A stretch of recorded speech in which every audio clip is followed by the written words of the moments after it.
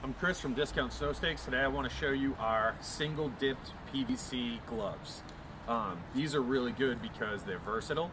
You can use them for um, kind of like just everyday work and they have a sandpaper grip. It makes, it makes them really, um, you know, pick up pretty much anything really well. Um, also inside is a nice fur liner. Um, and really what these are great for is throwing salt. Um, but like I said, you can kind of go back and forth between shovel and hand, throwing salt by hand. See?